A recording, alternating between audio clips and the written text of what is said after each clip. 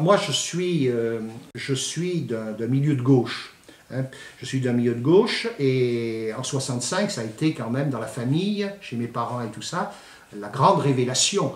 Euh, Quelqu'un qui puisse euh, d'abord rassembler toute la gauche et ensuite mettre De Gaulle en balotage. Ça avait été le truc. hein. Et à partir de ce moment-là, euh, chez moi, on était plus mitterrandiste que de gauche. Vous voyez, si euh, c'est pour ça qu'on l'a toujours suivi. D'accord. C'est quand même des bonhommes, ça, vous en, vous en rencontrez pas deux dans votre vie. hein. En ce qui concerne Mitterrand, il y avait une distance. C'était Oui. le président. Ça a toujours été le président. Oui. On chercher François Mitterrand et son épouse à, à la gare de Perrache. On l'avait mené à Annonay.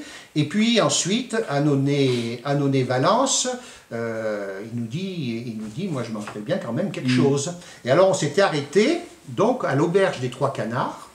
Euh, la dame qui tenait l'auberge des Trois Canards, à l'époque, nous avait apporté une grande soupière, je me souviens, et François Mitterrand avait pris la louche et nous avait tous servi les uns après les autres. Tout le monde voulait que François Mitterrand vienne participer euh, à, la fête de la Rose que l'on faisait chaque année à Vallon-Pont d'Arc. La fête de la Rose, ça n'avait pas été facile, parce que ça tombait euh, pendant le week-end de Pentecôte.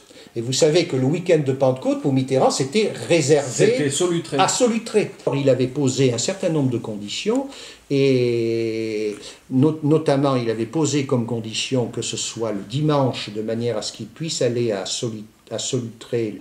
Et surtout, il avait dit, je ne viens que s'il y a Jean Ferrat.